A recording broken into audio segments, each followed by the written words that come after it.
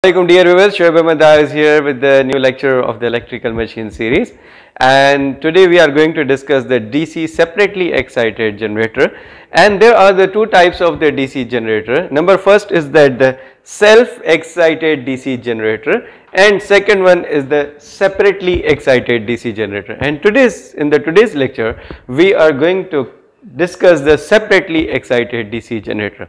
Recall the concepts of the DC generator. There are the five essential parts of the DC machine.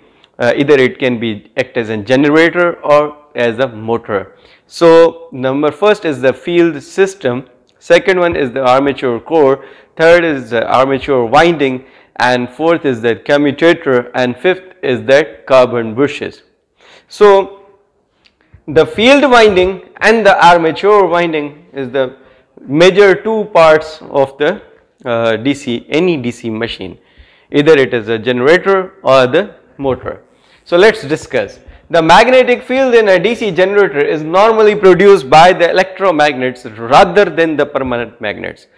So magnetic field in the DC generator in the field system so we are going to um, normally use the electromagnets. So rather than the permanent magnets because the permanent magnets has limited properties of the magnetism.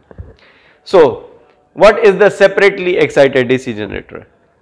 So this is the definition as DC generator whose field winding is supplied from the independent external DC source Independent external DC source means normally uh, it is excited from the battery. So that can be called as the separately excited DC generator.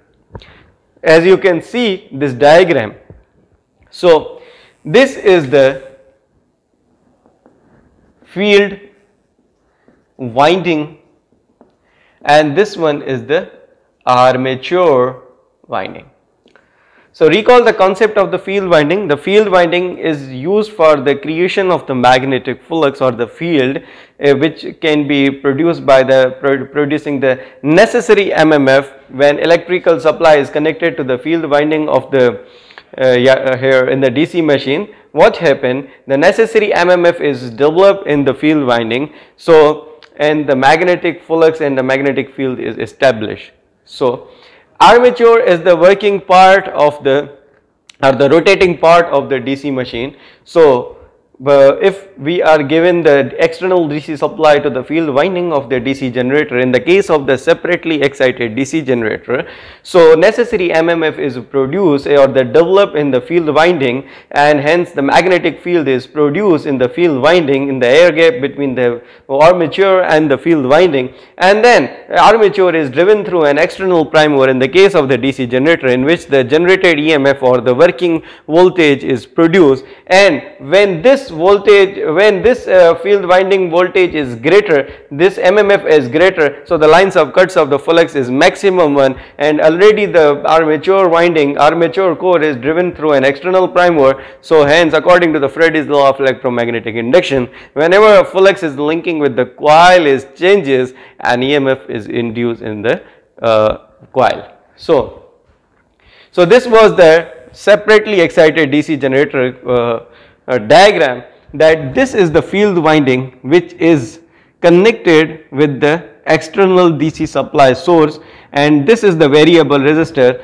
So, by which we can in, increase or decrease means vary the amount of the field current and then the MMF will be decrease or increase in, uh, in, in that of the in the increasing or the decreasing of the field current with respect to that and hence this is the armature uh, Uh, winding or the armature in which the generated EMF is produced, working EMF is produced, working voltage is produced and the load is connected with the armature.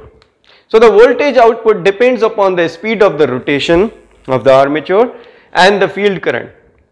So according to the EMF equation of the DC generator, so that is the phi and ZP over 60A. So phi is the magnetic flux okay and n is the number of the uh, rotations of the shaft or the armature and p is the number of the poles and z is the number of the armature conductors and A is the number of the parallel paths. So, the value of the A is equal to 2 in the case of the Uh, value of the A is equal to the 2 in the case of the wave winding and value of the A is equal to the P according to the number of the poles in the case of the lap winding machine. So, the greater the speed and the field current greater the generated EMF. So, if we are increasing the field current in the field winding of the DC separately excited generator. So, what happened the more voltage is induced in the armature armature winding of the DC machine according to this expression. So, if we are going to uh, increase the magnetic flux or the field so, G, uh, generated EMF will be more or either if we are going to increase the number of the RPM. So, again the generated EMF will be increased. So, the magnitude of the generated voltage depends upon the speed of the rotation of the armature and the field and hence the greater the speed and greater the field current the greater will be or higher will be the generated voltage. Okay. So, it may be noted that the separately excited DC generators are rarely used in the practice. Okay. So, the DC generators are normally of the self excited okay separately excited DC generators not, uh, rarely we are using but we are normally using the self excited DC generator. So there are the three types of the self excited DC generator the series wound, shunt wound generators and the compound wound self excited DC generator. Okay. So this was the diagram and the description of the topic and then some let us discuss some formulas according to this diagram. So, this is the field winding and the voltage so this one is the VDC for example which is uh, this uh, field winding is uh, energized or so some external battery which is the independent source and this is the variable resistor. So, the field current is produced because of the uh, uh, voltage is given or uh, through the battery to this field winding hence the IF, IF is here is the IF here is the field current okay? IA here is the armature current and EG here which is produced in the armature is the generated EMF or the voltage. Okay, RA here is the armature armature resistance okay or this is the resistance of the armature and this V is the terminal voltage Okay. Now this is the armature and these are the carbon bushes and this load is connected with the armature which is the rotating part of the DC machine and the, this is the field winding which is connected with the separately excited DC independent source through which we are going to increase or decrease the field current with this variable resistor or the rheostat. So, if we are decreasing the resistance the field current will be increased and more MMF is produced in the field winding and the magnetic flux will be more magnetic field will be strengthened and what happened this already armature is driven by the external prime mover uh, in the case of the DC generator. So, the lines of the cuts of the fluxes takes place between the field winding and already the rotating armature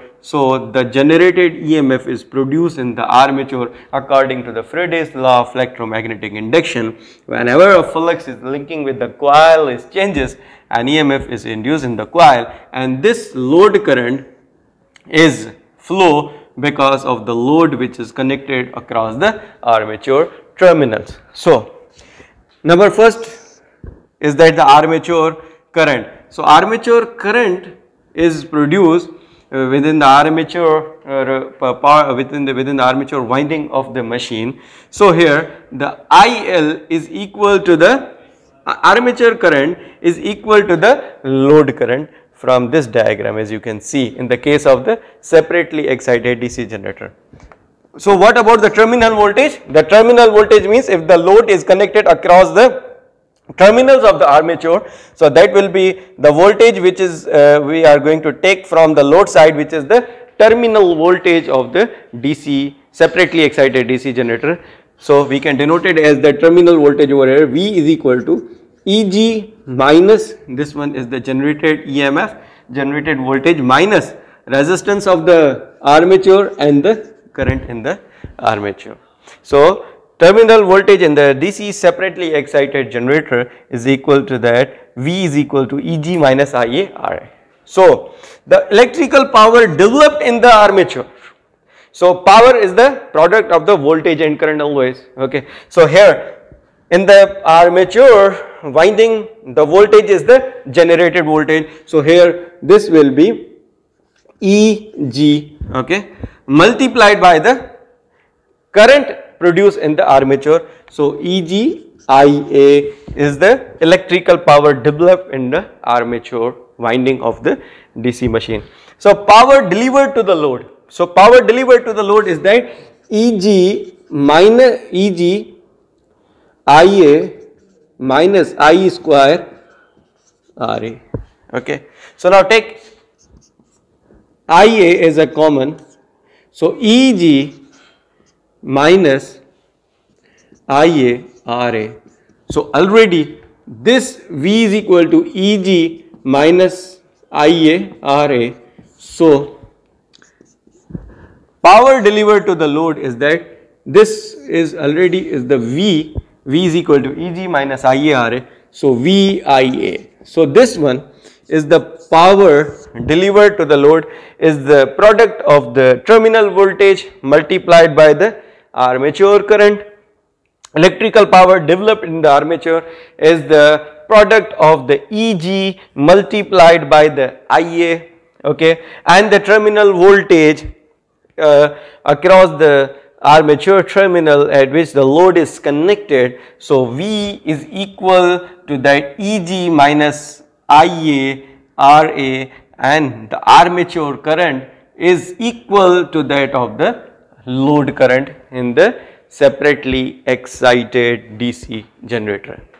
So this was the whole lecture regarding the separately excited DC generator in which in which we have discussed some mathematical expressions formulas related to that separately excited DC generator and uh, what is the separately excited DC generator? A separately excited DC generator is that whose field winding is supplied from an independent DC source. So that it can be called as a battery. So that is called as the separately excited DC generator and here the field winding is, winding is excited from the separately excited DC source and armature uh, load is connected across the armature terminal. So this was the whole lecture regarding the separately excited DC generator. I hope that you have uh, enjoyed the today's lecture and at the last, at the last do subscribe my YouTube channel Shoaib Ahmed for more informative videos related to the electrical engineering area. Thank you.